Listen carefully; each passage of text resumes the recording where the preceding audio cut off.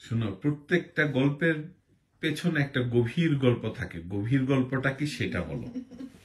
গভীর গল্পটা হইল আমার আজকে মুড হলো ঘুরতে যাওয়ার আমার বাইরে খাওয়ার কিন্তু তুমি নিয়ে যাবা না এবং খাওয়ার বানা তুমি এত পেটু খুইলা কবে? আমি তো এইটা বুঝলাম না।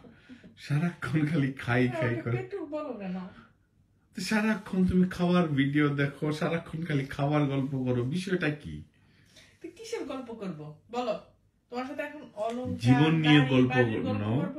তুমি জীবন নিয়ে গল্প করবা জীবনের গভীরতা নিয়ে গল্প আচ্ছা দিলাম সেটা দিলাম। কিন্তু এত হালকা বিষয় নিয়ে আরেকটু আরেকটু বলব? প্রফাউন্ড হও না একটা- ভাই তুমি একজন প্রোফাউন্ড আসো তুমি বোরিং হচ্ছ দিনকে দিন এটা তুমি বুঝতেছো না। একটু আগে বললা না যে কেন মানুষ কিয়া করে? তুমি যে বোরিং হইতেছো দিন। কিয়া করে মানে কি? কিয়া। মানে কি? কিয়া। পরকিয়া করে। ও আচ্ছা তুমি এখন আমার এইসব থ্রেড দেওয়া শুরু করছ? থ্রেড দিই নাই কোশ্চেনটা তুমি করছ।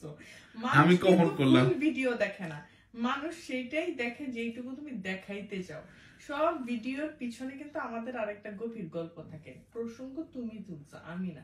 আমি শুধু তোমাকে বলতেছি তুমি যে প্রোফাউন্ড হইতে গিয়ে বোরিং হয়ে গেছো তুমি দুর্দান্ত বোরিং হয়ে গেছো তোমার দুধের বাচ্চাটাও বলে বাবা বোরিং এটা তুমি বুঝতেছো না। তুমি খুবই বোরিং হয়ে গেছো। তোমার কাছে সব হালকা। খাইতে যাওয়া হালকা, ঘুরতে যাওয়া হালকা। কোনো কিছুতে তুমি আনন্দ খুঁজে পাও না। কারণ তুমি অনেক বেশি প্রফাউন্ড খুঁজে পেয়েছ। আর যদি কার কেউ তোমার কাছে তার মনের দুঃখের আর ডিপ্রেশনের গল্প একবার বলে ফেলে, আমি তো শুনি বাসায় সবই। তারে তুমি প্রোফাউন্ডের গল্প এক ঘণ্টা। তুমি এটা করতে পছন্দ করো। আর আমি এখনও বোরিং হই নাই এই জন্য একটা নতুন রেসিপির মধ্যেও খাওয়ার আমি আনন্দ খুঁজে পাই।